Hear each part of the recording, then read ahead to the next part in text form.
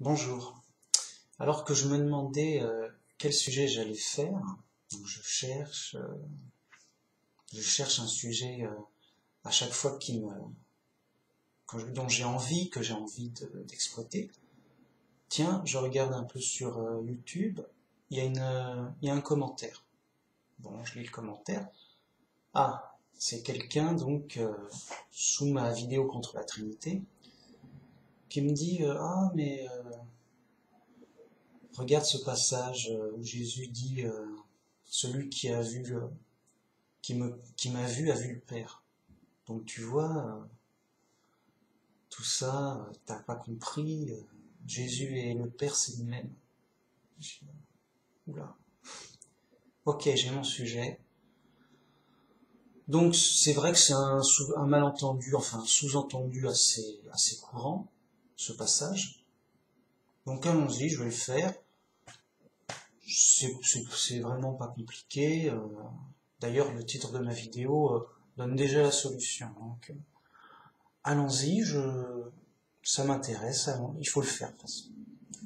Donc, ce passage, c'est dans Jean 14.7, qui nous dit Si vous me connaissiez, vous connaîtriez aussi mon Père. Et dès maintenant, vous le connaissez, et vous l'avez vu. Alors Philippe lui dit Seigneur, mais montre-nous le Père, et cela nous suffit. Jésus lui dit, Il y a si longtemps que je suis avec vous, et vous ne m'avez pas connu, Philippe. Celui qui m'a vu a vu le Père. Comment dis- dis-tu, montre-nous le Père? Voilà, le passage. Donc là, on dit, bah, quoi, bah, qu'est-ce qui se passe Euh, Jésus est le Père ou Jésus est, Dieu, on ne sait plus. Et donc, c'est la porte ouverte à toutes les hérésies, à tous les sous-entendus, à à ce que tu veux. Voilà, tu peux dire ce que tu veux, euh, c'est gratuit. Donc, les trinitaires. Alors, il y a deux sortes de fous. Il y a les trinitaires qui vont dire, euh, donc, euh, tu vois, Jésus est Dieu parce que il est, il est comme le Père. Bon. Et puis il y a d'autres, des autres fous qui disent bah, Jésus c'est vraiment le Père même. C'est le Père qui est devenu humain, qui s'est appelé, il s'est appelé le Fils. Et quoi Le Père c'est est devenu humain et il s'est fait appeler le Fils? Bon bah il n'est plus le Père s'il est le Fils. On ne sait plus quoi. Oui mais le Fils et le Père c'est c'est la même personne. Le Père est devenu le Fils quoi. Oh ok bon on va répondre aux deux de toute façon. Alors les trinitaires disent que c'est la preuve que Jésus est Dieu. Bon, il n'est pas le Père, vraiment, mais Jésus parle de connaître Dieu euh, par son intermédiaire, car il est son Fils, son image. Alors, les trinitaires, donc, disent Jésus est Dieu, euh, parce que celui qui a vu Jésus a vu le Père, c'est-à-dire qu'il n'est pas le Père, mais euh, il a vu Dieu, quoi. Comme Dieu est le Père et le Fils aussi, euh, euh, t'as vu Dieu, quoi, voilà. Donc, ils sont dans ce raisonnement-là. Mais quand Jésus, justement, parle de connaître Dieu par son intermédiaire, c'est parce qu'il est son Fils, son image. Alors, preuve, en Colossiens 1.15, c'est écrit, il est l'image du Dieu invisible le premier-né de toute la création, pour préciser que c'est sa première créature. Alors, il est l'image du Dieu invisible. Remarquez, un Dieu invisible ne peut pas avoir d'image physique, euh, visible. Vous voyez?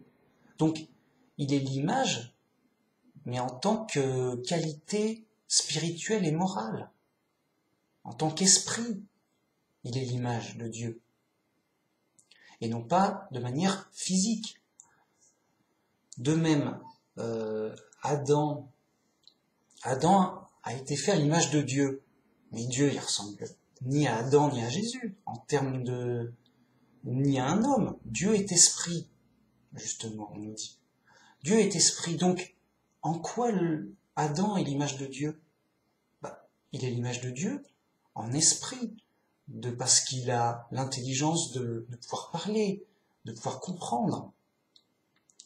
Il n'est pas comme les animaux. Les animaux ne peuvent ni parler ni comprendre, autant qu'un humain. Bien.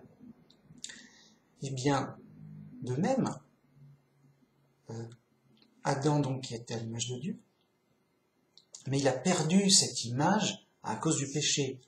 Du coup, on a une sorte d'image déformée. Mais Jésus, qui est né euh, grâce à Dieu par miracle, il est l'image de Dieu euh, parfaite en qualité d'esprit moral, spirituel. Et pour cause, il est sa première créature de toute la création. On nous le dit. C'est pas comme si c'était caché. On nous le dit. Voilà pourquoi il est le Fils de Dieu, le Fils. Ça se retrouve dans d'autres versets, dans 2 Corinthiens 4.4.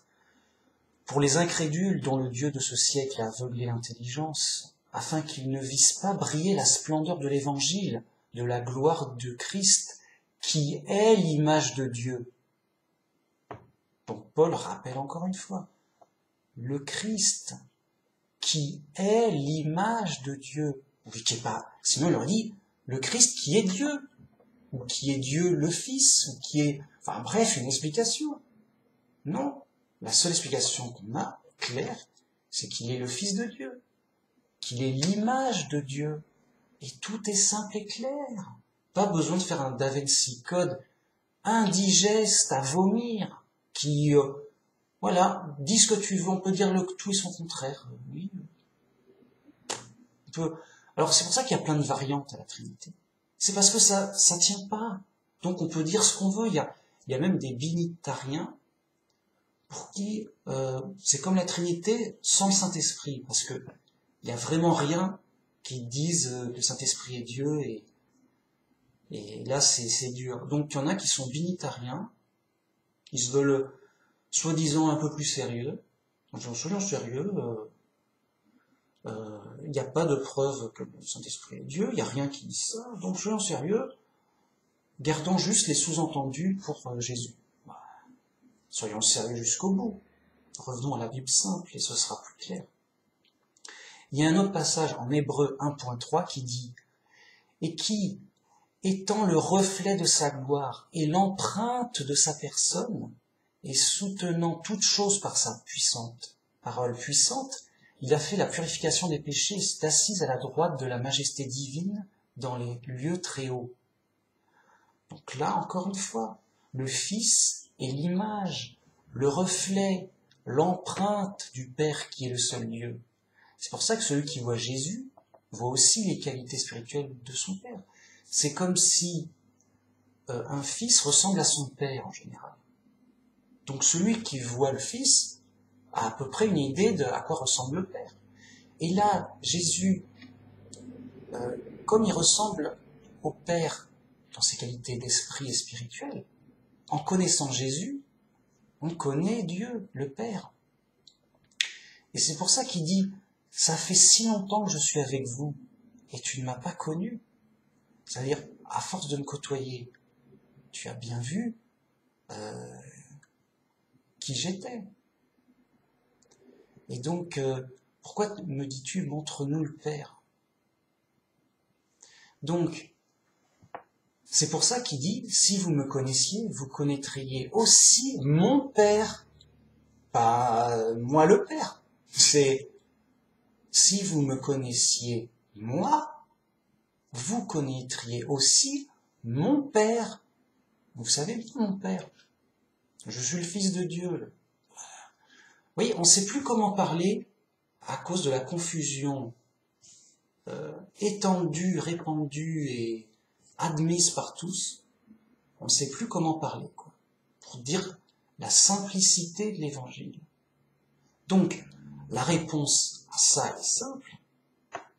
Pourquoi Jésus euh, nous dit que celui qui m'a vu a vu le Père, sachant que le Père c'est un Dieu invisible un moment, euh, il faut se rendre compte de la tournure de phrase.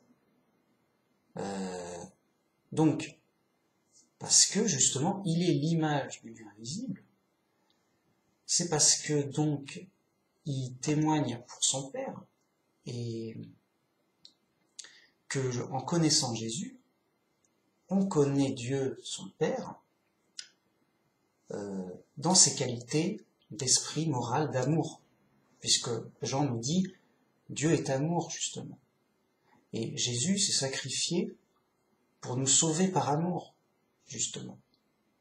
Et donc, enfin on connaît vraiment Dieu, euh, le Père, qui se révèle dans sa personnalité aimante, d'amour, de bienveillance. Et c'est pour ça que c'est en étant chrétien seulement qu'on puisse bien connaître Dieu, pourvu qu'on soit pas dans des confusions folles de Trinité et autres. Donc, pour la Trinité, ils ne peuvent pas dire que Jésus est le Père, puisque pour eux, le Fils est bien différent du Père. Déjà, bon, au moins là-dessus, euh, c'est évident. Mais ils disent, Jésus est Dieu. Parce qu'il dit, voilà, me connaître, c'est comme connaître le Père, donc euh, on est pareil, donc je suis Dieu. Ils sont dans ce raisonnement-là. Alors que la, la vraie réponse, c'est non. S'il dit ça, c'est parce qu'il est l'image de Dieu. En tant qu'image, il sert d'exemple, de modèle. Dans les autres versets, on dit le reflet, l'empreinte, l'image, pour bien montrer euh, les différentes façons de, voir bien euh, euh, de l'utilisation de son expression. Ensuite, il y a les autres fous. Peut-être, alors, qui sont les plus fous? Il y a des débats. Qui est le plus fou quand même? La Trinité, c'est bien ouf. Mais les autres, c'est quand même grave aussi. Bon. Qu'importe qui est le plus fou. L'intérêt, c'est de ne pas être fou. Et donc, de ne pas être fou. Ceux qui disent que Jésus est le Père. À un moment, ça tient pas. Ou alors, c'est, c'est encore du Da Vinci un message caché. Ah, je vous le dirai jamais.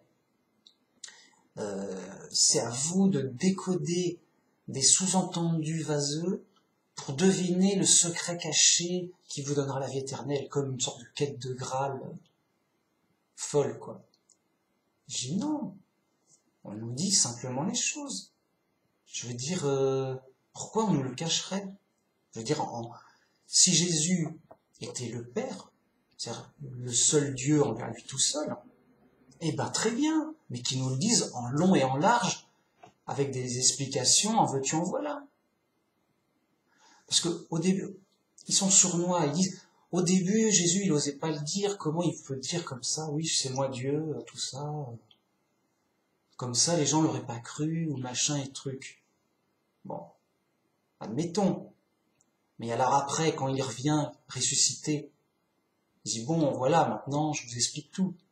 Et les apôtres qui, expliquent la nouvelle, ou alors ils n'ont pas compris. Mais ils ont eu le Saint-Esprit pour bien comprendre et bien expliquer toute la bonne nouvelle. À un moment, elle dit, bon voilà, euh, on vous explique, en fait, voilà, c'est simple, Jésus, c'est Dieu, c'est le Père même qui est descendu sur terre, euh, avec toutes les incohérences que ça représente. Quand Jésus se fait baptiser, il y a la voix du Père qui parle devant tout le monde. Jésus s'adresse à son Père dit Je retourne vers mon Dieu et votre Dieu, vers mon Père et votre Père. Jésus un Dieu, Jésus un Père. Il le désigne. Voilà. Vous connaîtriez aussi mon Père. Et avec la preuve ultime, en plus il a osé dire ça avec ma preuve ultime. Alors il a peut-être pas vu la vidéo parce que aveugle et sourd comme les fous sont, il verra ni cette vidéo-là ni les autres. Parce que euh, ou alors c'est de la folie, mais... Donc, dans l'autre vidéo, j'ai donné Jean 17.3, où Jésus s'adresse au Père, et il le désigne lui. Toi, le seul vrai Dieu. À un moment, s'il voulait cacher la vérité à tout prix, euh, bah, il n'aurait pas fait mieux fait. Donc, euh, que dire de plus, euh, si ce n'est de revenir à la Bible simple, arrêter le Da Vinci Code et les messages cachés, subliminaux, les sous-entendus qui peuvent, à qui on peut faire dire ce qu'on veut, oui, ce qu'on veut. C'est simple. C'est, comme tu le sens, c'est du New Age euh, gratuit. Alors que la vérité est simple. Si Jésus dit que celui qui l'a vu a vu le Père, c'est parce que bah, il est l'image du Dieu invisible.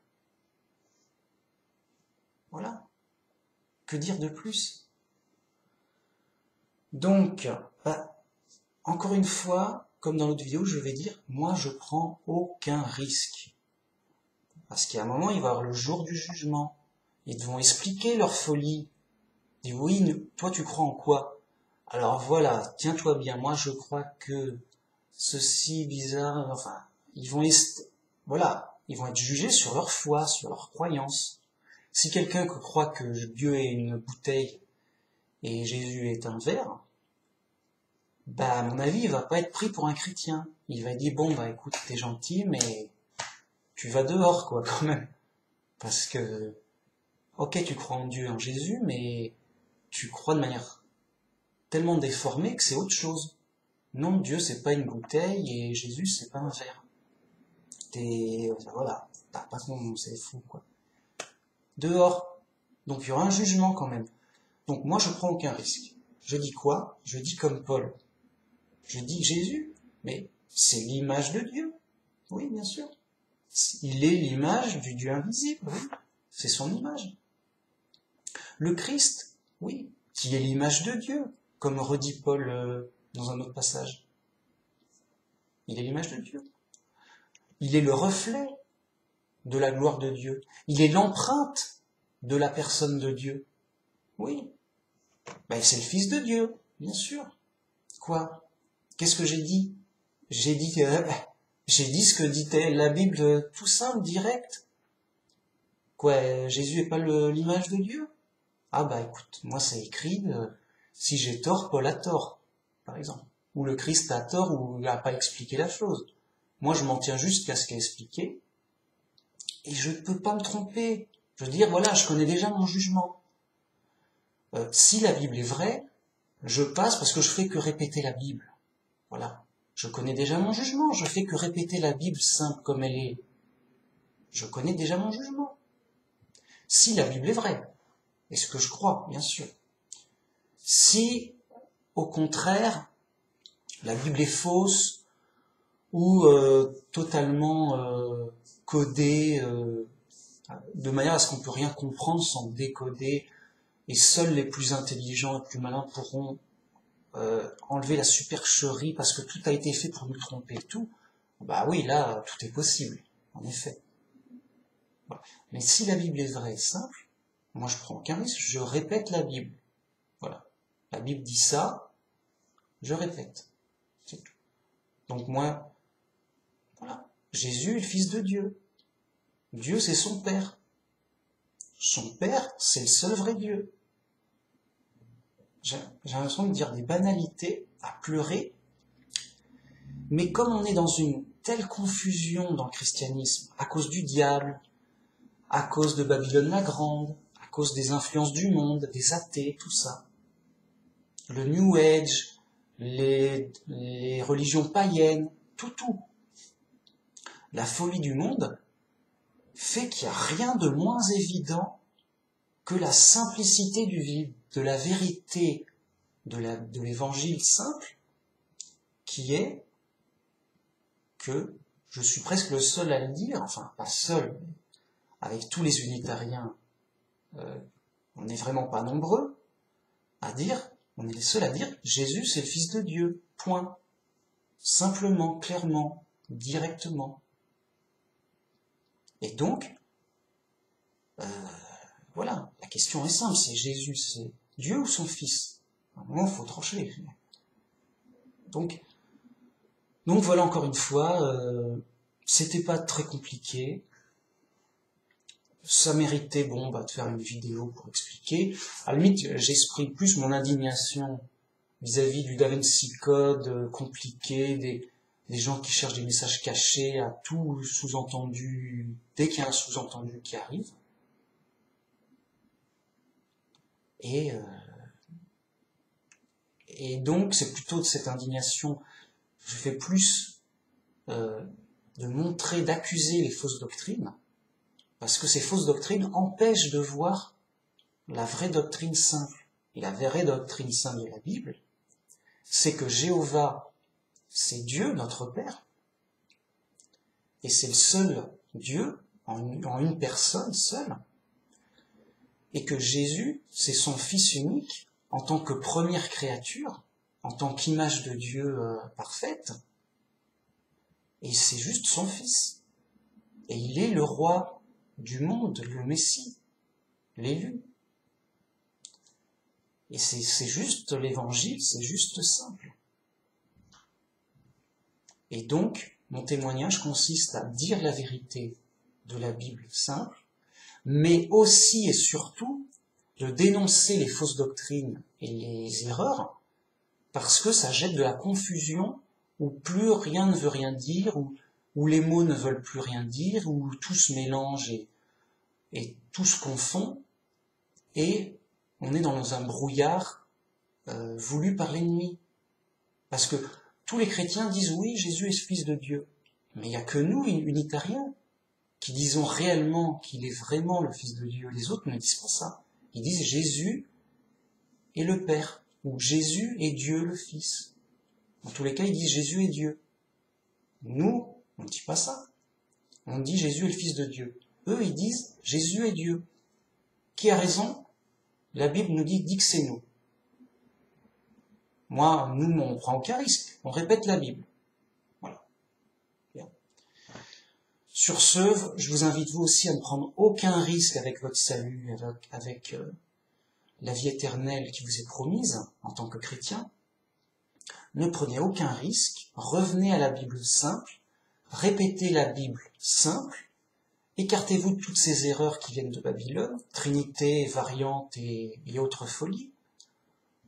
En revenant au simple, vous allez tout comprendre et enlever toute la, toutes les erreurs qui, en fait ne viennent que d'orgueil, euh, de, complexité, de, de chercher des messages cachés, euh, de chercher des secrets, euh, on ne sait où, compliqués, tout.